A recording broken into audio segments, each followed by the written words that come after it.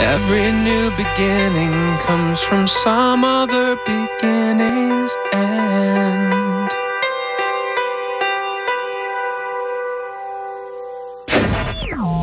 The year was 1989. There was a Texan in the White House. Read my lips. The Berlin Wall came down. Tens of thousands of young Berliners, average age I'd say about 22, are on the Berlin Wall.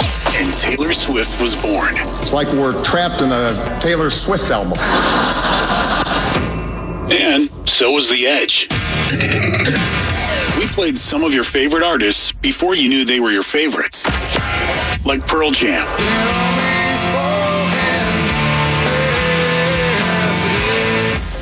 The Foo Fighters.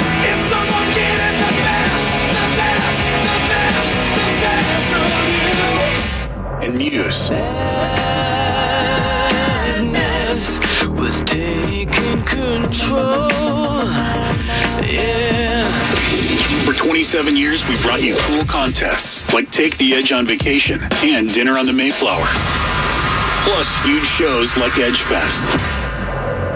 And now, it's time to say thank you for listening. And other stuff that we really mean, but that sounds cliche. So, thanks for letting 1021 The Edge be a part of your life. And we hope you'll keep a little bit of the spirit that made us want to come to work every day inside you. So, what's next? I guess we'll find out together.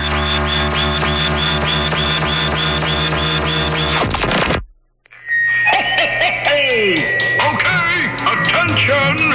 Take your places, everyone! What's the rush, Santa? It's not even Thanksgiving yet. We've been practicing this all year, dear. It's time to make the big switch! Oh, yes. How could I forget? All right, here goes. Five, four, three, two, one. Wrong switch, Santa. Oh, uh, oh, found it. Here we go. The wait is over. I love this time of year. Makes you feel warm and fuzzy inside. Everybody gets in the Christmas spirit. It's just magic. I'm very excited. Dallas Fort Worth's home for commercial-free Christmas music is now live. Let's hear it. Yeah! Welcome to the new Star 102.1.